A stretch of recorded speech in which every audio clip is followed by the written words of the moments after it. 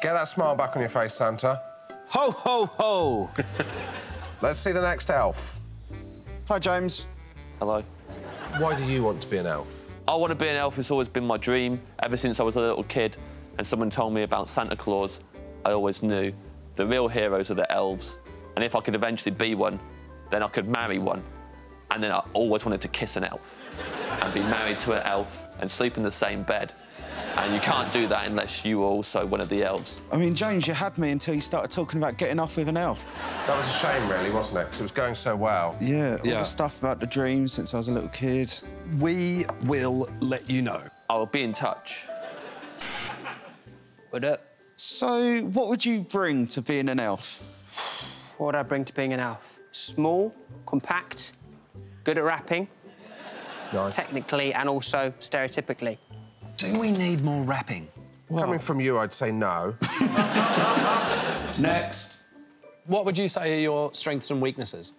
Right, strengths, uh, literally born to be an elf. Uh, whole life's been leading up to this. Weaknesses, the height. Uh, I am five foot eleven, but do you know what? If- If you need me to crouch, I will crouch.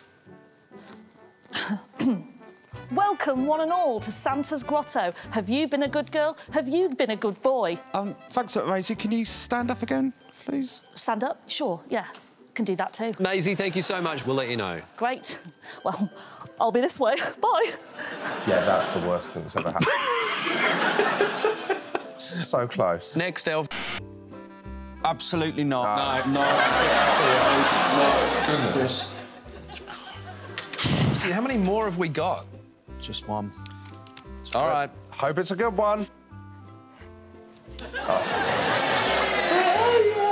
Okay, I'll take the job, but I only work Saturdays between. Uh, no, it's it's not you taking the job. This is an interview. Uh, we haven't offered you the job yet, so um, we need to ask you some questions. No! I don't interview. You know what? You can stick your job up your chimney. I'm not What happened then? She had quite a good Paralympics and got carried away. It's disappointing. We've officially crossed everyone off the list. Absolute disaster. Yep. There was an argument we should have cast the net wider than our guests for the last six weeks on the show. but- Let's go over it again. What are you looking for?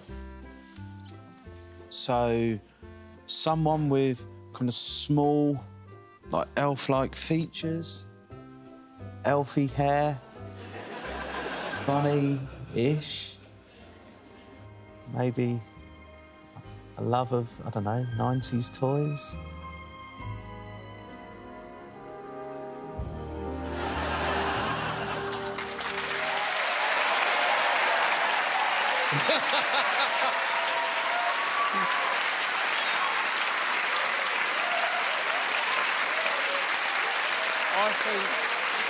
I, I think there's nothing more Christmassy than knowing that the greatest gift was under your nose all along.